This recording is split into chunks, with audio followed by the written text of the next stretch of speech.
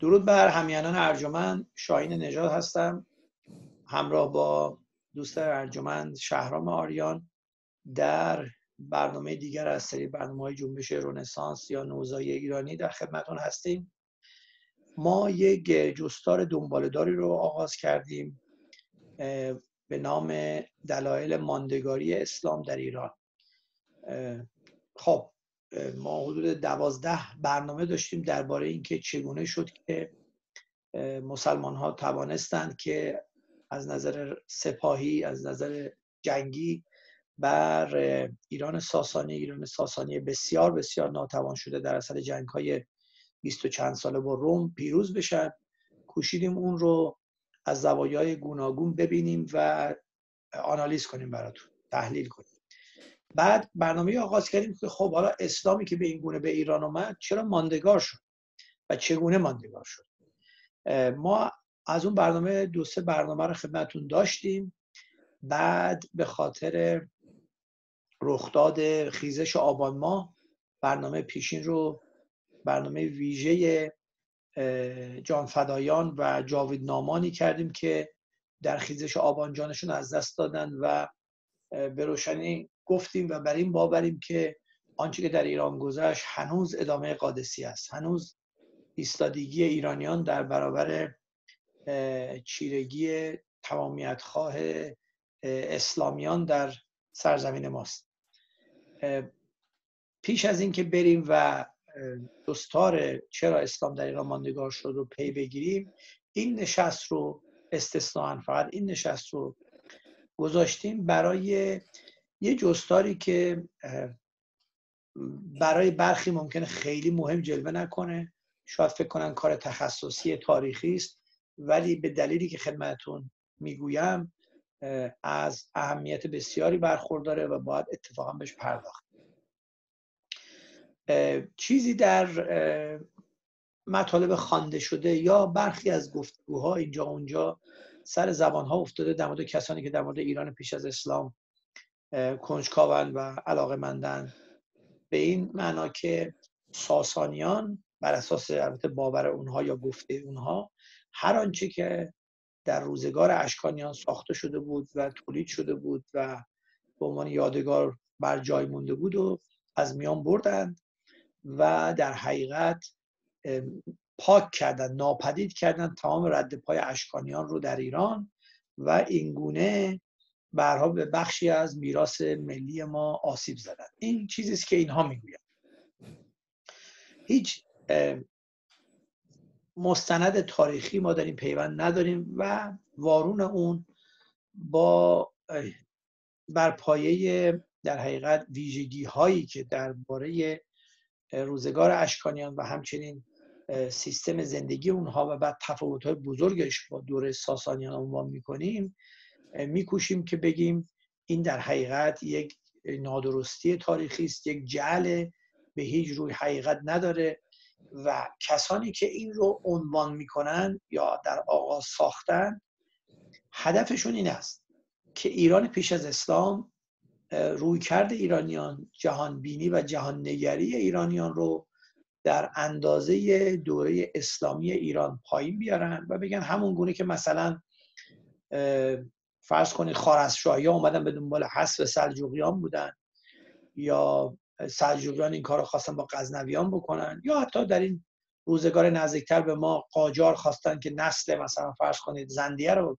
از جای بکنند همانند اون اینها می‌خواهند بگن که ساسانیان هم یه دودمانی بودن که خواستن همین رفتار رو با اشکانیان بکنن. در نتیجه ما همون آدم های بدی هستیم ما همیشه این گونه رفتار کردیم.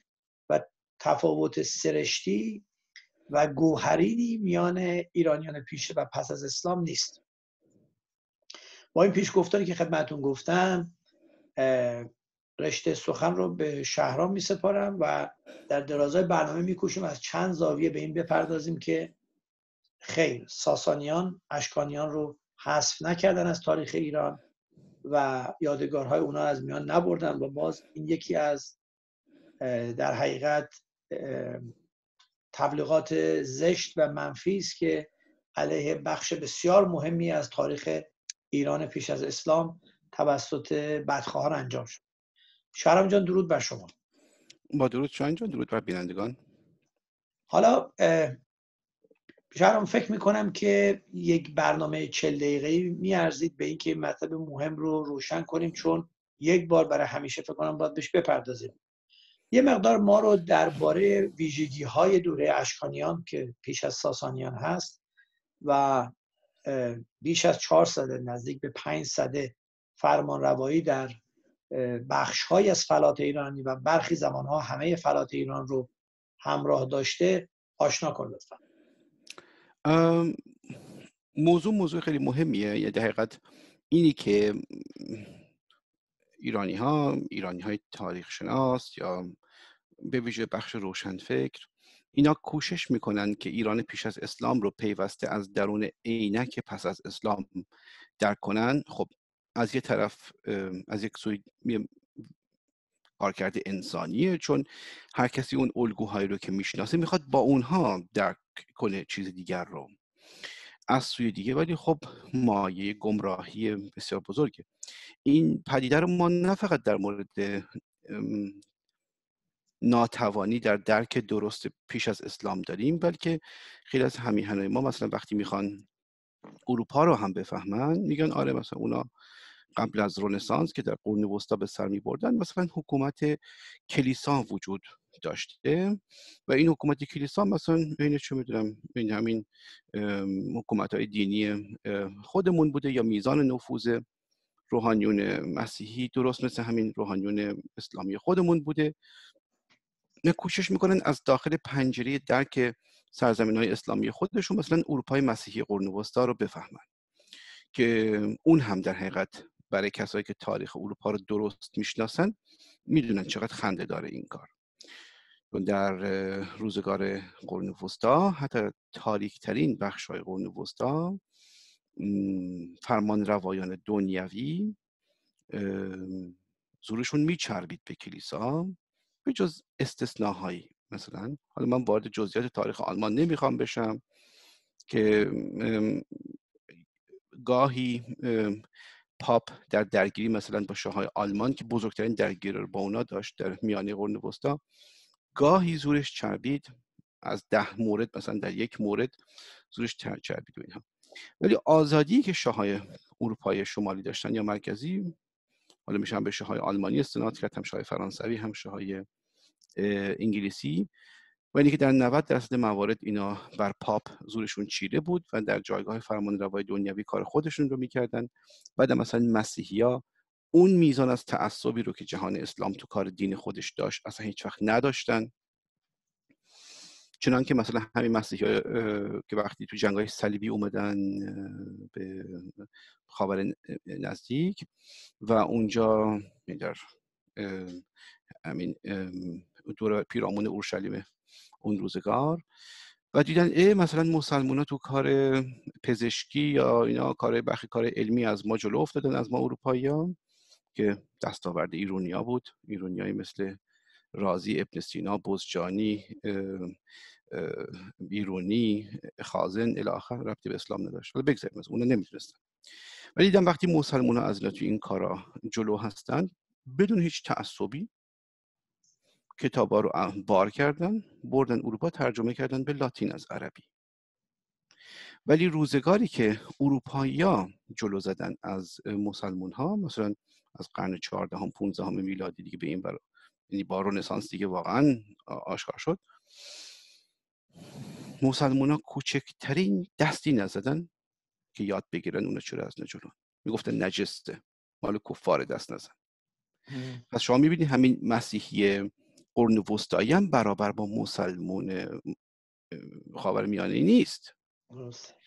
و همون اشتباه عجب و غریبی که اون دوستان روشنفکر یا تاریخ شناس می‌کنن که می‌خوان تاریخ قرن وسطای اروپا رو هم از درون عینک جامعه اسلامی خودشون یا تاریخ اسلامی خودشون بفهمن اون اشتباه دیگه اون موقع 20 برابر بزرگتره وقتی که می‌خوان ایران پیش از اسلام رو از درون اون عینک بفهمن. چون حالا جامعه قرن وسطای مسیحی اروپا بازی جامعه با یه دین ابراهیمی بود.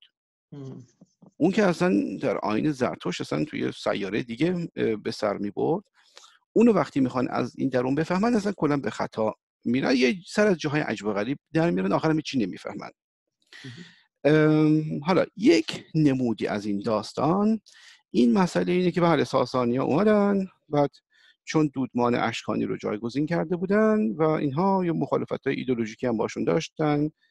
در حقیقت اشاره می‌کردن که این فرمان روایی اشکانیا درست نبوده. فقول خود اردشیر بابکان دوش خدایی بوده. یعنی یک فرمان روایی سوء فرمان روایی بوده سوء سالاری بوده.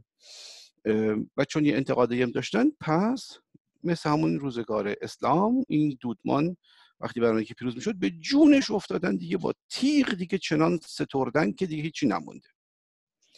و این دو از این میاد که بگم با اون نگاه اسلامی خودشون می‌خوان اون روزگار رو بفهمن. درست. روزگار ایران باستان اصلا تعصب رو به این حالتی که ما در روزگار اسلامی می‌شناسیم نمیشناخت. نمیشناخت.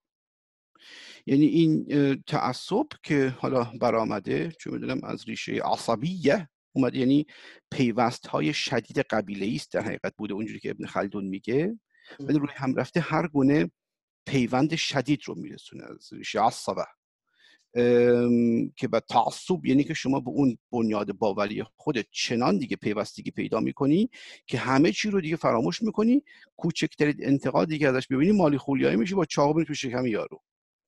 یه همچین چیزی اصلا ایران مخصوص نمیشناخته اصلا. و مهمترین بازنمودش هم اینه که مثلا اینا همه کس رو از همه جور دین استخدام می‌کردن. نه فقط در دوران هخامنشی که به این کار زبان زد بود. نه فقط در دوران اشکانی که با دین اصلا کاری نداشت. تو فکرهای فودال چیزای دیگه بود. در دوران ساسانی هم که همه گونه انگ بهش چسبوندن که حالا این خیلی مذهبی بودن به هیچ وجه. فرمانده لشکر داشتن معاون وزیر داشتن مسیحی یهودی الاخر هرچی دلت بخواد.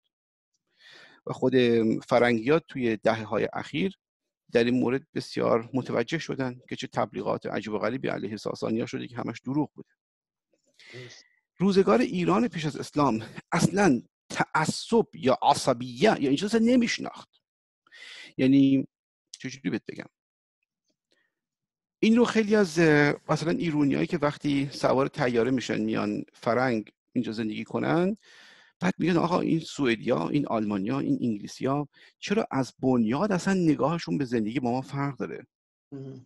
یه یه ده سالی می‌خوان تا بفهمن این چه مدل آدمیه اونجایی که خودشون میان مثلا چه مدل آدم بوده. منگن تو ده سال اول منگن چون اصلا نمی‌فهمه اون دیگر دید دیگر رو. درست همین بلا سرشون میومد. اگه سوار ماشین زمان میکردیمشون میبردیمشون روزگار پیش از اسلام. نه هر سه دودمان هخامنشی اشکانی هر کدوم پیاده می‌کردی یارو در منگی به سر می‌برد. یه چند سالی می‌خواست تا بفهم اصلا اینجا چرا اینجوریه. و می‌دید تمام اون اندیشه هایی که می‌کرده که با این الگوی خودش می‌تونسته اونجا رو بفهمه با این الگوی اسلامی امروز. همش پرت و پلاست. در روزگار ساسانیا میبردی اونجا مثلا قومی که می‌دیدی یه قومی بوده مثلا یه جور دیگه تا قوم روزگار اسلام. یعنی من اینو توی خبرنگار فرنگی بود میگفتش که آره ما رفتیم ببینیم به این یزیدیا به این کار یزیدیا رسیدگی کنیم چون داعشی اینا رو میکشتن و شکنجه می‌کردن اینها.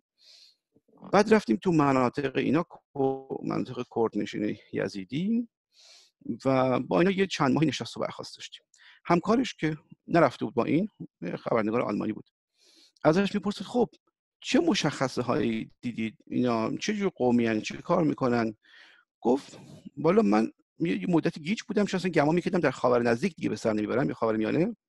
چون می‌دیدم که اینا مثلا تمام کارهایی که هم همسایه های مسلمونشون می‌کنن حتی کردای مسلمون که از با این یه جورایی دقیقا یه قومن حالا چه برسه دیگه به عرب کسی یه جور دیگه هست اینا مثلا می‌گفت به دلایل نامعلومه که ما نمیفهمیدیم چرا فحش جنسی اصلا نمی‌دادن. کردای ایزدی فحش جنسی نمی‌دادن. اصلا نمیشناختن. می‌گفت اصلا نمی اصلا به زبونش اصلا نمی‌رسید بگه. و باشون صحبت می‌کردیم صداشون بالا نمی‌رفت. اصلا در مورد مسائل گوناگون صحبت می‌کردیم. می‌دیدیم مثل فرنگی داره به ما پاسخ میده با اینکه تو کوه کمره مثلا کردستان دور افتاده است. فرنگی منظورم نه با اون نگاه مثلا ولتر بلکه مثل یه آدم آرامی که اول همیشه با دیده منطق به مسائل نگاه می‌کنه یه پاسخ یا در حد اون عقل روستایش میده. ولی در چارچوب منطق بدون تعصب بدون که گلو یار رو بگیره بدون که با چاقو بره تو شکمش و از اینجور کارهایی که مسلمان می‌کنن. و میگه ما یه مدت منگ بودیم اصلا چرا اینجوریان و هنوزم نفهمیدیم چرا اینجوریه چون یارو مردم شناسی یا آنتروپولوژی اینا نبود. فقط از دیدگاه فروتنی می‌گفت رفتیم توی سرزمین عجایب. چون می‌گفت از اون دههای اونا که میمدی بیرون وارد کردای مسلمون که می‌شدی رفتار اگه نه 180 درجه ولی یه 100 درجه میچرخید. و به مناطق عرب که می‌رفتی به همدلله دیگه 180 درجه میچرخید. گمان می‌کرد توی سیاره دیگه هستی. بنابراین شما اگر الان سوار ماشین زمان می‌شدی و میبردنتون در روزگار ساسانیا ایرونی های مسلمان امروز اصلا یه چهار سال می‌خواستن بفهمه چه خبر اونجا. من اینو می‌تونم زمانت به شما بدم. برای اینکه من خود من در دانشگاه وقتی متونشون رو میخوندم کاری که آموزش زبان هند اروپایی اینها به اونا که رسید من متون ساسانی رو نسبتا دقیق و گسترده خوندم و خود منم احساس غربت می‌کردم. یعنی میدم اون چیزی که دارم می‌خونم اون چیزی که من از کودکی یا هرچی از ایران یا ایرونیا میشنم هیچ ارتباطی نداره. چه چیز دیگه است مال یه سیاره دیگه است مثلا صحبت هایی که می‌کنه اصلا یه جور دیگه است. تا اندازه شباهت داشت مثلا با روح شاهنامه. یعنی زبان خیلی موقری بود. که مسائل منطقی رو میشکافت پاسخهای منطقی می‌خواست بده در نهایت آرامش و فلان. تا اندازه به شاهنامه شباهت داشت ولی با شاهنامه هم آخر سر فرقهایی داشت چون تو آب خودش میجوشید یعنی از یه فضای دینی فلسفی دیگه میومد آدم وقتی اونو می‌خوند دقیقا حس می‌کرد که حتی شاهنامه هم یه سانسور اسلامی اون دستگاه های قدیمیه حالا بنابراین این دوستانی که هی می‌خوان بفهمن ساسانیا چیکار می‌کردن و با اون عینک های عجیب و غریب نگاه می‌کنن که نمی‌دونم همونجوری که قاجاره باید مثلا زندیار یا مثل مالی خولیا یا میکشتن یا نمی‌دونم هر کسی تو این دوران بعد از اسلام قبلی مثل مالی خولیا یا کشته از بین برده. پس اونا باید همینجوری کار می‌کردن. شما این نمونه رو در جاهای دیگه هم می‌بینید مثلا می‌خوان بفهمن فره ایزدی چی بوده؟ چون یارو. نه اوستایی بلده نه پهلوی بلده نه اصلا حوصله‌اش داره بره یاد بگیره من در مورد آدمای دانشمندی رو صحبت می‌کنم ها نه آدم عادی تازه. نه آدم عادی چون همشون که بحمدالله ادعا دارن ولی توانایی خیلی پایین. نمی‌خوام بگم صفر ولی بحمدالله نزدیک صفر. توانایی پایین ادعا بالا.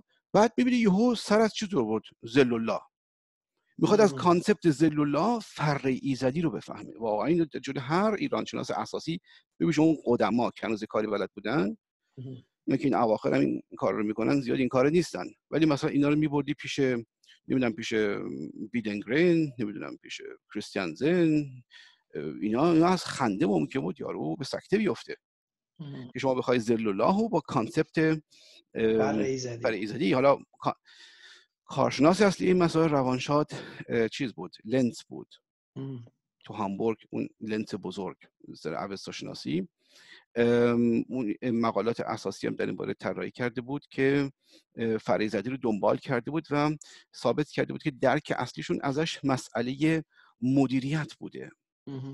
یعنی اون خوره بود اون خوره می‌گفتن دیگه توی بله. لهجه کهن حالا چه پهلوی چه حتی اوستایی. اون خواره نه می‌گفتن. تا اونجا دنبال کرده بود. این ثابت کرده که با اون سوارنای قدیم که گمان می‌کردن از سانسکریت میاد و به نور و این مسائل داره ارتباط نداره بلکه با خوردن ارتباط داده بود. یعنی خوردن یعنی خوردن برخوردن یعنی که چجوری به یک مسئله هنگام مدیریت برمیخوری. درسته. یه همچین ریشه ژرف فلسفی داشته داستان. که برای همین هم می‌گفتن وقتی یه شاهی نمی‌دونم یه مدیر کاری نمی‌دونم یه فرمانده لشکری کارش رو درست انجام نمیده. اون اون فره در حقیقت فرهمندی ترکش کرده یعنی از پس مدیریت دیگه درست بر نمیاد. بر نمیاد. تو چه رفتی به زلولا این کار داره؟ یعنی تو همین کیفیت می‌خوان بقیه مسائل هم بفهمن و بخش اصلی داستانم از تنبلی میاد. درست. تو یارو حال و حوصله نداره بره اول نمی‌دونم سه چهار سال اوستایی بخونه زبان صرفی رو یاد بگیره بعد سر از پهلوی در بیاره بعد متون درست بخونه. و و و چون حال حوصله کار نداره بخواد 5 دقیقه یا اظهار نظر بکنه.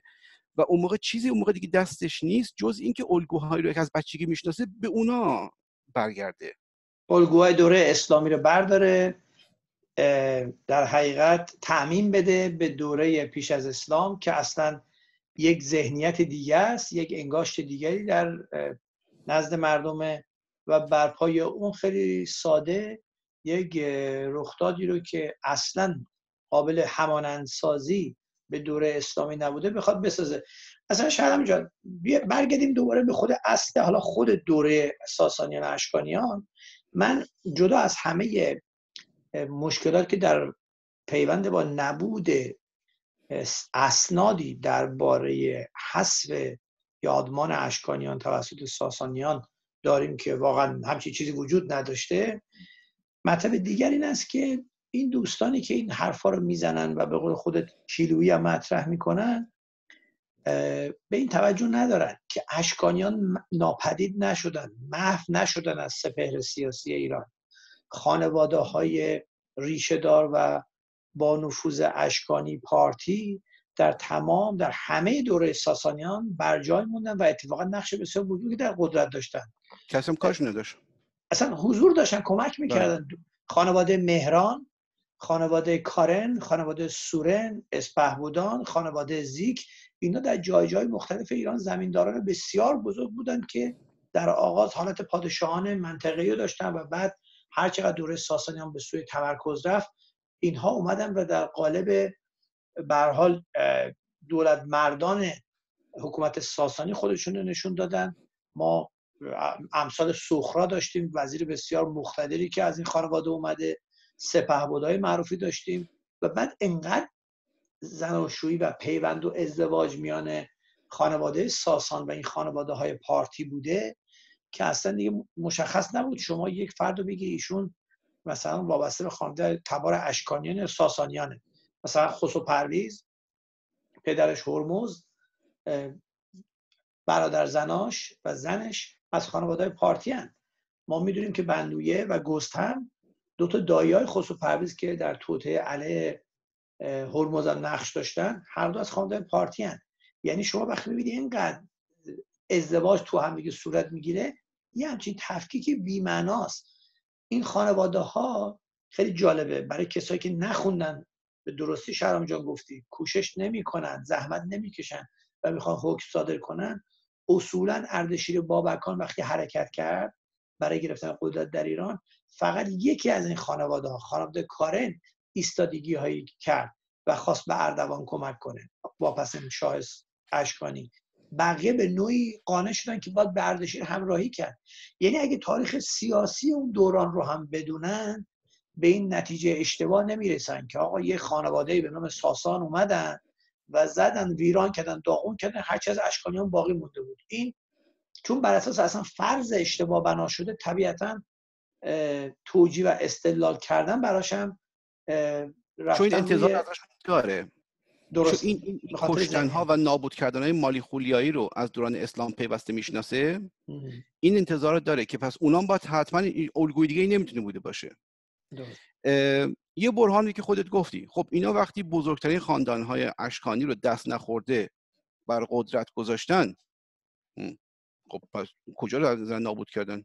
خب اینا که 80 درصد اون ملاک های زورمند قدیم رو بر سر کار گذاشتن بمونه که. درست اونا رو بر سر کار می‌ذاره با اون حساسیت نداره بعد میاد جای دیگه سنداش رو نابود کنه. بعدم مطلب دیگه ما نامه تنسر رو داریم که در اونجا درگیری هایی که میشه با یه استانداری که هنوز وفادار مونده به روزگار اشکانی اون یه عالم انتقاد شدید از اردشیر بابکان می‌کنه. دستگاه مرکزی هم با نهایت متانت کتبی پاسخش میده. کسی راه میفته بره بکشدش. مثل مثل زمان اسلامی بود مثلا از سلطان می‌خواست انتقاد کنید تا تیکه تیکت نمی‌کردن ولی نمی‌کردن. درسته. اون شدیدترین انتقادا رو کرده اون استاندار با که با پا دشنام پهلو می‌زنه انتقاداش. اینم اردشیر بابکان هم گفته به جای که وزیر گفته آقا پاسخش رو کتبی بده که همون سندی شده برای به نام نامه تنسر برای ما که الان اتفاقا خیلی به نظرم درخشانه خیلی نمونه خوبی از اینکه یک مدار منطقی در کشور جاری است. یعنی شما می‌دونید به عنوان کسی که قدرت رو گرفتی در برابر فرض کنید گوشه است که الان پادشاه مثلا محلی تبرستان یا استاندار اونجاست این داره می‌پرسه آقا چه خبره؟ شما داری چیکار می‌کنین نظم نوین جریانش چیه؟ و اردشی خوشو موظف می‌دونه که بنویسه. همون طرف رو قانع کنه هم به احتمال بسیار بالا برای خیلی های دیگه این کارو کرده که بله. یکیش برای ما سند با همه این کارو کرده. ببین اصولا حالا کم کم به داستان می‌رسیم چون بعد از این پیش درآمد دادم باید توضیح بدی که چی شد که از اشکان یا سند کم مونده. این که سند از اون کم مونده این گناه ساسانیا نیست بلکه بخش بزرگش به این برمیگرده که اونها دستگاه فئودال بودن که اصلا به طرح سند زیاد علاقه ای نداشتن. این مثلا از میزان کم سنگ نگاشته هاشون میشه یافت. یه دونه چه می‌دونم سنگ نگاشته که مثلا همه دیگه ازشون می‌شناسن یا در مثلا هنگام آموزش این مسائل باید یاد بگیرن. اون داستان اون سنگ نوشته کجا بود؟ کنگ اجدر بود در خوزستان اگه شما نکنم. یه سنگ نگاشته رده پنج. این اصلا قابل قیاس نیست با اون چیزایی که ساسانی ها طراحی کردن. اونم از این میاد که این دستگاه اشکانی دستگاه فئودال بود. افکار عمومی براش ارزشی نداشت. مثل دستگاه فودال تو اروپا قرن وسطا. اون اون ملاک ها اون اشراف های جنگی با اون زره های سنگینشون از اون دژهاشون بر رعیت حکومت می‌کردن. زیاد براش مهم نبود که این رعیت چی میگه. البته اشکانی هم خب 500 سال فرمان روایی کرده روزگار پایانیش خیلی روزگار پیشرفته تری بود روزگار آغازینش. اونا می‌رسیم بخوایم پاسخ بدیم. ولی بازمون ارزش افکار رو نداشت و براش نداشت و تمام پیروزی اردشیر بابکان اصلا از اهمیتش به افکار عمومی می اومد که با افکار عمومی همش در رد و بدل بود. دقیقا شران جان برای بینندگان من توضیح بیشتر رو بدم که سخن درست روشنتر بشه براشون. سنگ نوشته و سنگ نگاره در دوره ساسانیان و خیلی پیش از اون در دوره هخامنشیان چرا درست می‌شد؟ از این نظر که دستگاه شهریاری دستگاه حکومتی می‌خواست که به مردمی که امروز هستن و مردمی که فردا میآیند بگه که چه خبره ما چه کردیم ما چرا داریم اینجوری عمل می‌کنیم ما به کجا قرار گرفتیم. یعنی شما برای افکار عمومی یک ارجی قائلی و میکوشی که افکار عمومی رو با خودت آشنا کنی حالا یا با دستاوردها یا با باورهات. از این نظر وقتی شما یه نظام فئودالی داره به صورت یک فدراسیون نسبتا یه مقدار ناپایدار و سستی داره اداره میشه که تقریبا تیپ دوره اشکانیان بویژه تا میانه دوره اشکانیان این داره در حقیقت خودش رو بری می‌دونه یا نیازمندی نمی‌دونه که بخواد بیاد به به اصطلاح با رعیت و افکار عمومی رعیت بله. شهروندم نه رعیت چون هنوز مفهوم شهروندی هم اون موقع درست نشده بود توضیح بده که ما کی هستیم چی هستیم دولت داره چیکار می‌کنه برنامه هاش چیه و طبیعتا برای همین سنگ نوشته باقی نمونده بله. وگرنه اگر قرار بر نابودی بود سنگ نوشته یا مجسمه های بودا که اونها من نظر قدمت مال تقریبا بله. همزمان فکر کنم با دوره اشکانی باشه خب بعد اونا از میان می‌رفت. اونا که از میان نرفت اتفاقا نگرش داشتن با اینکه وابسته به یک آین دیگری بود غیر از آین زرتشت ولی حالت بتمانن هم داشت. اون تندیس های بزرگ باقی مون تا اینکه طالبان عزیز رفتن و با توپخانه و با سلاح آتشین اینا رو پس از نزدیک 1900 2000 سال از میان بردن. اینم نمونه دیگری که اینا این کاره نبودن شب می‌خواستن همون خب سنگ نگاشته کنگشتر رو هم میتراشیدن. مال مهداد اوله. برای اینکه کلا روح گوناگون این دودمان ها روشن بشه میشه موقع یک بررسی گسترده تری ازشون کرد. الان چقدر زمان داریم هنوز؟ ما حدود 19 دقیقه 18 دقیقه داریم. اوکی من الان گفتاری چیزایی میگم و اگه که از پاسخ ها کامنت ها نیازی بود که خواستن یه بار دیداری هم بر پای نماها و نمودارهای سیستم دوستان ببینن اون موقع برای بار آیندهش همین گفتار رو ژرفتر برای چهل دقیقه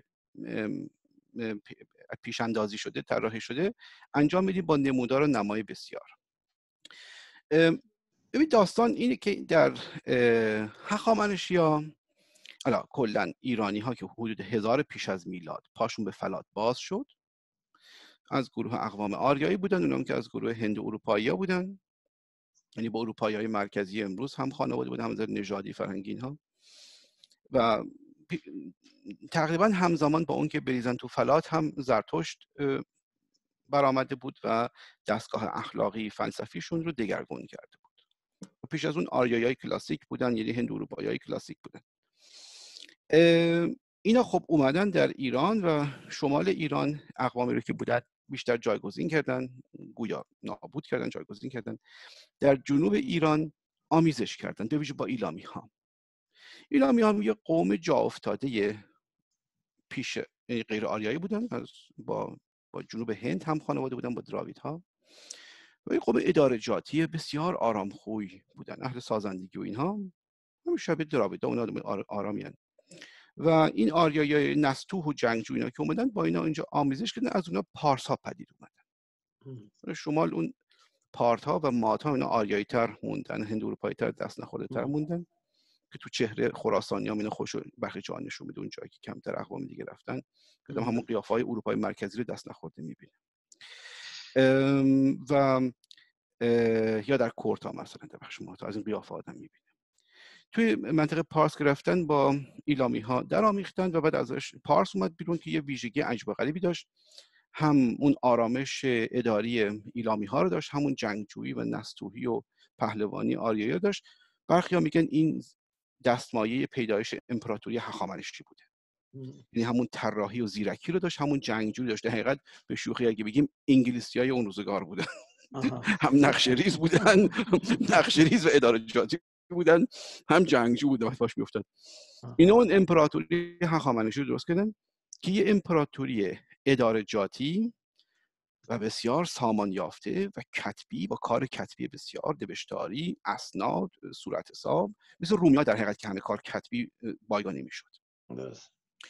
من ببینم اگه نمایی هم دست کم بندازم که خود تو حال هوای اون زمان بریم. حالا اگرم که بزرگ طراحیش نکردم برای این بار یک لحظه من ببینم این شیر سکرین رو پیدا می‌کنم. یک لحظه باید اینجا باشه اگه اشتباه نکنم. اوکی الان دیده میشه شاین جان؟ بله الان دارید نقشه رو می‌بینید. آره دیگه ما رفتیم تو حال هوای نقشه روزگار هخامنشی که این امپراتوری شگفتآور استقاره رو پدید آوردن بر بنیاد همین نظم اداری و آرامش رفتاری و حقیقت حالا مثل رومی ها اداراجاتی بودن ولی از رومی ها خب خیلی متمدن تر بودن.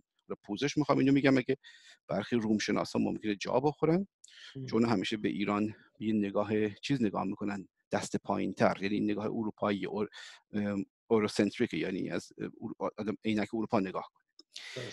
ولی آدم باید اینو بگه. من باید شور وقتانه بگم که هخامنشی ها از رومیا متمدن تر بودن. یعنی در نظم اداری اونا رو داشتن تو کارهای کتبی و اینها ولی دادگسترشون که بی‌نظیر بود مال هخامنشی ها خود بله. یونانی هم همه جا گفتن. و کنار این فضیلت هایی که مثلا رومی ها هم سپستر داشتن ما فراموش نکنیم رومی ها 500 سال پس از اینا اومدن. یعنی به امپراتوری رسیدن. به امپراتوری رسیدن. با اینکه این کنار نظم اداری که مثلا شبیه نظم امپراتور روم بود که سپستر اومد ولی اینا بردهداری نمی‌کردن. یعنی دولت شگفت آوری بود که حالا اگر در مناطقی از کشورم بردهداری بود نمی‌خواست به زور قدغن کنه چون دولتش اصلا یه دولت خیلی تولرانتی بود که فرهنگ های منطقی رو دوست نداشت زود تراکتور بندازه زیر رو کنه. درست. چی می‌دونم آنتیتز اسلام بوده اینا در حقیقت یعنی هر اندازه که اون با نهایت گستاخی می‌خواد همه دیگر رو نابود کنه مثل خودش کنه این اصلا حساسیت نداشت که کسی رو مثل خودش بکنه و حتی حتی به خاطر این تولرانسش حتی وقتی جای بردهداری هم بود زورکی رو قدغن نمی‌کردن ولی دولتشون وقتی پروژه های دولتی انجام می‌داد با پیمانکارا بدون برده انجام می‌داد که مردم نگاه کنن یاد بگیرن درست اصلا باور نکردنیه. تو باید در نظر داشته باشی که تمام ساخت و ساز امپراتوری روم همش رو برده میچرخید سپستر کاملا. مال یونانیام. اینا تمام تخت جمشید و اماکن بزرگ خیابونای بزرگ ها یه دونه برده کار نکرده. درست. شگفت آوره حالا بگذاریم از داستان. شما تاریخ هخامنشی رو کار نمی‌کنیم.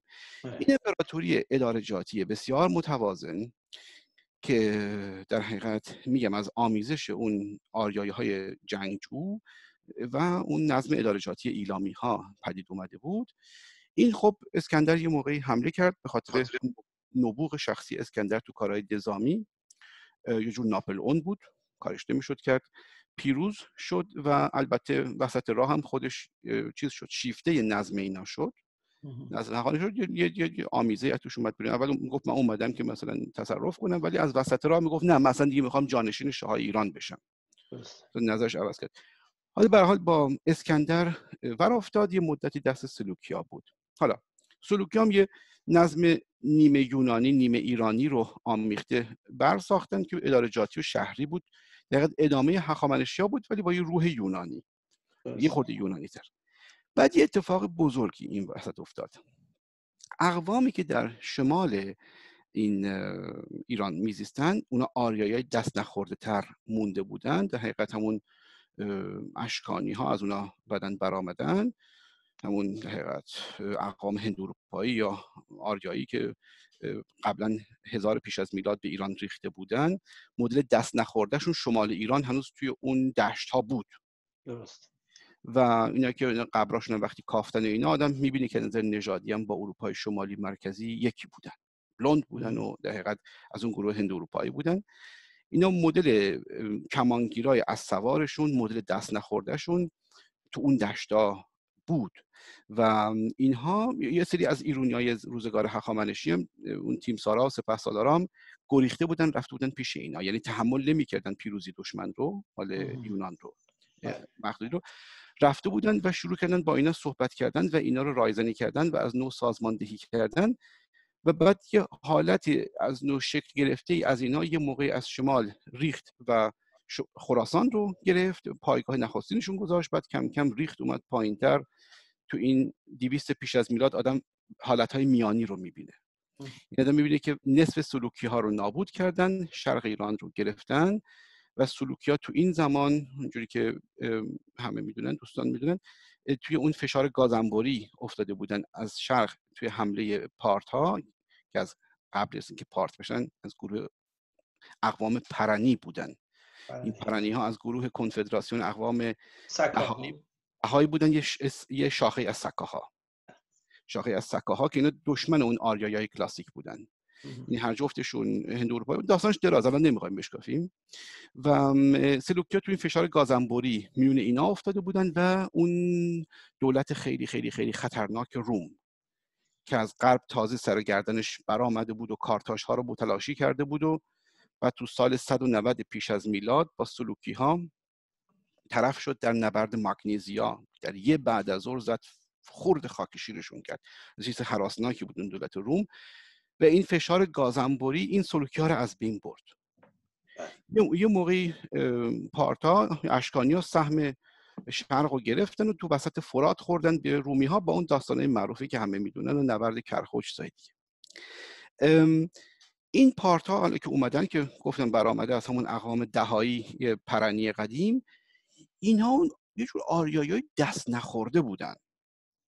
یعنی اینجوری اگه بگیم یعنی حالا یه بادی از آین زرتشت هم شاید به سرشون خورده بود ولی توی تفکرات خودشون بودن در حقیقت. اون اقوام آریایی جنگجوی شمشیرزن به دلیری و جنگجویی رو بالاتر از هر چیزی پرستیدن شوالیه مانند با اون درکی که خودشون داشتن از جنگای مردامرد و دوئل و چیزایی که اونا دوست داشتن. و اینها در حقیقت حالا به حالت اقوام کمانگیر سبکبار آغاز کرده بودند بعدا در زره هاشون کم کم سنگین تر کرده بودن که بتونن با مقدونی ها در بیفتن. و بعدم وقتی که ایران رو از اونها پس گرفتن دیگه غرق در سلاح سنگین شده بودن و یه نمودی در حقیقت از دوران شوالیگی رو در ایران پدید آورده بودن. یه جهان جهان جنگجویان شوالیه. هزار سال پیش از اینکه این جهان در اروپای مرکزی به وجود بیاد سنگ نگاشته های ساسانی هم نشون میده که اصلا یک به یک عین اون آین جنگی هم که بعدا در اروپا بود یعنی با های دوئل های رو در رو که با نیزه تو هم دیگه می‌رفتن تو انگلیسی میگن مثلا جاوست اینا هزار سال قبل از اروپایی ها این رو داشتن و دژهای مدل آریایی پسندم ساخته بودن. از این دژها اون دستگاه های فعودالی همیشگی هند اروپایی رو بر ساخته بودند که بر رعیت حکومت می‌کردن و الی با یه همچین وضعیتی در حقیقت ما دیگه در دوران هخامنشی به سر نمی بردیم دوران اداری مرکزی دادگستری دار به سامان همه چی ادارجاتی و کتبی و در شبه مدرن. بله. می‌دونی که مثلا در تخت جمشید بعدن که در آوردن که حتی به کار کار کارمندها و کارگرای زن حقوق برابر می‌دادن. بله و مرخصی می‌دادن برای خانم هایی که باردار بودن. درست بله وقتی. فرنگی اینا ترجمه کردن خودشون شاخ در آورده بودن. این این دیگه مال اون روزگار نبود. این روزگار جنگجوهای آریایی نستوه بود. در زره های سنگین. که از بام تا شام فقط تو جنگای مردامرد و دوئل و اینا به سر می بردن و از دشهایی که ساخته بودند بر رعیت دورور حکومت می‌کردند با نهایت سرسختی. این خیلی شگفت‌آوره. ولی ظاهرا آریایی همچین سلیقه‌ای داشتن. چون ما این رو بعدا بعد از هزار سال که ژرمنا هم از تو جنگلای موقعی ریختن و رومی ها رو از بین بردن همون رومی های اداره جاتی و اینا رو یه چیزایی در اروپا ساختن شبیه همون اون. مثلا آلمان قرن وسطا رو اگر ما نگاه کنیم یه منطقه رو می‌بینیم به هزار تیکه تقسیم شده و در این تیکه های گوناگون هر کدوم یه اشرافی اشرافی جنگی مالک مطلق جان و مال رعایای اونجاست. درست و هر کجام دژهایی زدن حالا من نمونه دژ رو یه دژ بزرگی برداشتم از بیرون از اروپا. یکی از دژهایی که در جنگهای صلیبی علیه مسلمانان زده بودن به نام کرکت شولیه و یه برداشتم واسه اینکه خیلی شگفت آوره چون این دژ اصلا شیوه ساختشون با ارگ بم خودمون که زمان اشکانیاس خیلی شباهت داره. با اینکه میونه اینها میونه اینها هزار سال فاصله است. درست. 1300 400 سال شگفت آوره و بعد دوباره همین راه تکاملی رو که بعدا اشکانیت رو رفتن اینام رفتن. اول با زره های سبک زنجیری آغاز کردن بعد زره هاشون کمی سنگین تر شد. اینجا ما یه تو اولی ما یه جنگجوی آلمانی مثلا سال قرن دهم تا دوازدهم رو می‌بینیم. حالا اینجا نوشته قرن دوازدهم این بالا.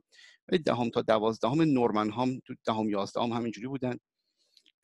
اینجا دیگه قرن سیزدهم رو می‌بینیم که زره ها داره سنگین تر میشه. ولی بله. concept همون concept شوالیگی مونده. اینا همینجوری تو جنگ های صلیبی هم شرکت می‌کردن این یه جنگجوی آلمانی صلیبیه. درست. مال مال یک طریقت مذهبیه که بهشون می‌گفتن Deutscher Ritterorden که Templar ها هم شبیه اینا بودن. و حالا این مدل Deutscher Ritterorden دیگه هراسناک ترینشون بود. حالا ما وارد تاریخش نمی‌خوایم بشیم که در نامش که میومد همه مسلمان ها فرار می‌کردن چون این های خیلی خیلی خونریزی هم بودن باید بگم و اینا بودن که مثلا با یه اقلیت نفراتی رفتن سیسیل از اونا پس گرفتن. حالا اون داستاناش درازه که اینا چرا اینقدر خونریز بودن چون بودن چون بودن. ولی بعد زره ها همجوری سنگین و سنگین تر شد تا قرن 15 هم. اینجا ما در مثلا جنگ های سالی انگلستان و فرانسه هستیم با این با این زره های معروف شالر که دیگه برگستوان های اسب و اینا هم در همین حالت آورده بود. این تکنولوژی اینجا اینا تقریبا در قرن 15 میلادی به اون جایی رسیده بود که اشکانیا و ساسانیا یعنی آخر اشکانیا داشتن. اونا وقتی تو, این تکنولوژی تمام سنگین به سر می بردن که سر و پا همش غرق در سلاح سنگین بود در حقیقت از نظر ساخت از نظر تکنیکی تو همین سطح بود. حالا ما اینجا وارد بحثایی نمی‌دونم هنر نزد ایران از بس نمی‌خوایم بشیم. ولی فقط می‌خواستم این کنار یادآوری هم بکنم که ایران پیش از اسلام از نظر صنایع چقدر جلو بود از جهان. درست. که اینا تو اروپا یه هزار سال خواستن تا بهش برسن. حالا آدم ممکنه بگه چرا رومی هم که زره های خودشون داشتن فلان بیزار اینا. حالا من اون اروپایی رو میگم که گیر ژرمنا افتاده و بعد دوباره بعد اون راه دراز رو بره تا به همونجا برسه. و خیلی جالب اینجا می‌بینی شیوه جنگیشون هم از ایران برگرفته بودن. که همین نبردهای مردآمرد با نیزه در نیزه بود.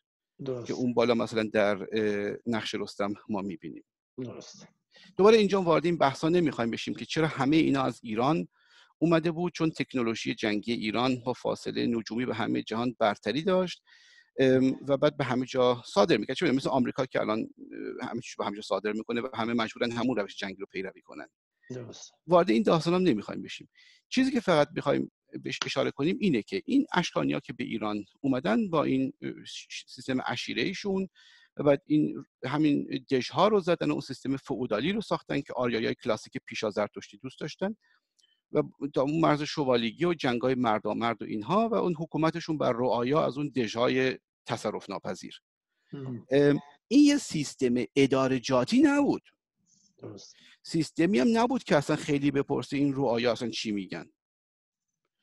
چنانچه در اروپای قرن وسطا از این خبرها نبود. اونجا هم رعایا در حقیقت ما تو آلمانی بهشون میگیم لایب ایگنه. یا تو انگلیسی میگن سرف یعنی یه حالت نیمه برده بودن.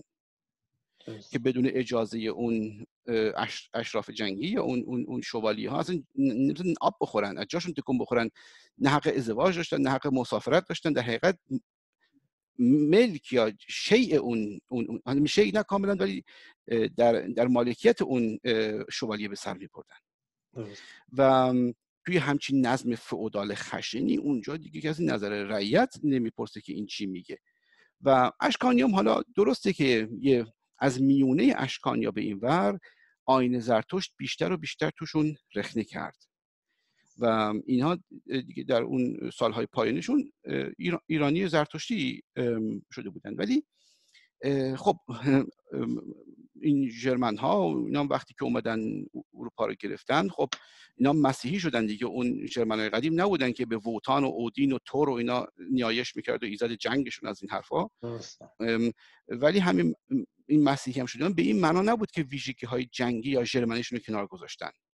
بله. البته هر چی زمان میگذشت اون موقع تغییر ماهیت می‌دادن یه جورایی میش... تکامل پیدا می‌کردن. همین رو هم باید در اشکانی اینجوری پنداشت یعنی اون روز اول که اومدن جنگجوهای نستوه گرز به دست و شمشیرزن و شوالیه های دوئلگر بودن که صدای چکاچک شمشیرهاشون پیوسته همه جا رو پر کرده بود. اردشیر بابکان حتی در کارنامه اردشیر هم به این مسئله شکایت می‌کنه. که اینا کارشون فقط جنگیدن با هم دیگه یعنی نشون تا اون تا اون لحظه آخرم این حالت ها رو نگه داشته بودن. درسته. و اینا به اون اشراف جنگی فئودال هر چقدر که تکامل پیدا کرده بودن هر چقدر که شهرها کم کم یه تکاملی در این دوران پیدا کرده بودن هر اندازم که اینا زرتشتیتر و آرامتر شده بودن. ولی هیچ وقت یه حالت شهری یه حالت کاملا شهری و جا افتاده و اداری پیدا نکردن. این اصلا اصولا شرم جان چون تمدن خودش خب واژه شهریگری است دیگه. بله. از ایجاد شهرها به هر حال برمی برمیخوازه. یه در حقیقت باید شهری باشه. مردمی شهری در اونجا زندگی کنن. که اینها آغاز کنن به ساخت و تولید و نوشتن و یاد گرفتن و ایجاد اثر و برجای گذاشتن به حال یادگاری برای آیندگان. و همچنان که گفتی در دژ و قلعه و برج و بارو و در لشکرکشی های گسترده از خاور به باختر و شمال به جنوب اصلا نه زمان این همچین چیزی هست نه هنگامش هست نه زمینه شایسته برای رشد همچین چیزایی است. ولی دقیقا ما تغییر رو در آغاز ساسانیان می‌بینیم. یعنی وقتی اردشیر بابکان به شاهی می‌رسه تو 14 سال تو 14 سال دوره که تاج و تخت داشته بر اساس اون چی که الان ما می‌دونیم دوازده تا شهر رو بنا می‌کنه. حالا بله. رام اردشیر و اردشیر برسیر و همین گونه. و این نشون میده که ایجاد این شهرها داره حکایت می‌کنه از اینکه سیستم جدید یا نظام جدید رژیم جدید این رژیم نوین در پی تغییر و تحولاتی است که منجر میشه به رشد تمدن در کشور. برای همین هم است که احتمالا ما می‌بینیم حتی با این همه اسناد مدارکی که به خاطر حمله اسلام و بعد ترکان و مغولان و دیگران از دست ما رفته و از میان رفته ما 17 18 تا کار از دوره ساسانیان دستمون رسیده. در حالی که حالا اونگونه که میگن اگه یه دو تا مثلا کار از دوره اشکانیان هم دست ما رسیده باشه مثلا فرض کنید درخت آسوریک یا اون داستان ویسورامین ویسورامین داستان عاشقانه ویسورامین نشون میده که زمان مناسبی برای همچین چیزی یعنی بستری آماده نیست برای اینکه شما بتونید تولید صنعتی خوبی داشته باشی کار دستی قوی داشته باشی سنگ نوشته بذاری و اصلا مهمتر یک سیستم دیوان سالاری که بتونه کشور رو متناسب با زمانی که جو میره ضبط و ربط کنه و هر ساز و کار مورد نیاز رو برای این کار داشته باشه ببین اشکانیا اون شهرهایی رو که موجود بود با صنعتگری که درشون بود و اذیت نمی‌کردن. چنان که شهرهای یونانی رو هم که از حمله اسکندر نمونده بود اذیت نمی‌کردن. فئودال هایی بودن که فقط به توسعهشون نظری نداشتن. می‌گفتن شهر اونجا هست داره کارشو می‌کنه. چه خوب ما اونجا زره هامون سفارش میدیم چون این زره های سنگینی باید اینجا ساخته بشه دیگه. درست. ما زره هامون سفارش میدیم مالیاتمون رو می‌گیریم کاری هم به کارش نداریم. دوران ساسانی فرقش این بود که با یک ایدئولوژی سازندگی اگرسیو اومده بود. که ستونهای ایدئولوژیک هم داشت. در حقیقت رو دو تا ستون ساخته شده بود این, این سازی کشور اون زمان. یک این که ما می‌خوایم برگردیم به روزگار از نظر ذهنی هخامنشی که این برنامهش ادارجاتی و منظم و بیروکراتیک و شهری بوده و دو دیگر هر اون چیزم که فعلا دشمنای اصلیمون رومی ها از نظر شهرسازی و همون فرهنگ مدیریتی فعلا از ما پیشی دارن که رومی ها نسبت به اشکانیا داشتن. اونو می‌خوایم برسونیم و می‌خوایم ازشون جلو بزنیم. و اینو با نهایت سرسختی ساسانی ها رفتن دنبالش که منجر شد به همون شهرسازی های عجیب و غریب که مثل قارچ دیگه همینجا میرست میومد بیرون و شهرهایی که از نظر هندسی دقیق ساخته دایره وار نمی‌دونم با برنامه های کانال سازی های آبرسانی دورورش و بعد این تبدیل به یه وزارت خونه کم کم شد وزارت خونه که مسئول شهرسازی ها بود. که بعدا حتی کاراشو با حملاتی که مثلا به رومیا می‌کردن تنظیم می‌کردیم مثلا می‌گفت رفتیم مثلا فلان شهر رو گرفتید. اگه تونستید برای ما 20 هزار تا شهروند مثلا کارشناس در بخش آهنگری درودگری اینا رو بیارید ما توی شهرهای نو می‌خوایم اسکان بدیم. یه،, یه حالت خیلی خیلی پیچیده و هدفمندی پیدا کرد و صد سال آخر ساسانیا به نظر من از نظر تکاملی پهلو می‌زد با روزگار پیشا رنسانس اروپا. که همه چیش هم داد می‌زد. یعنی از نظر من که ببینم این چیز رو پیدا کنم اینجا داشتم نداشتم سب کنید. بله. مثلا این تسلیحاتی که خب اون زمان می ساختن با چه کیفیت آهنگری مثلا این هنرشون رو که وقت نگاه می‌کنی چه در بخش شیش پردازی یا تو بخش فلزی این یه, دونه در حقیقت گربه ابسترکت این کنار. شما این این همچین چیزی رو مثلا در مایلند یا در ونیز قرن 15 هم می‌تونستی سفارش بدی. درست زودتر نه. اینا اینا آخرش دوران رنسانس نزدیک شده بودن. و من نسبتا مطمئنم که اگه سر و کله اسلام پیدا نشده بود همون برم بمونیم.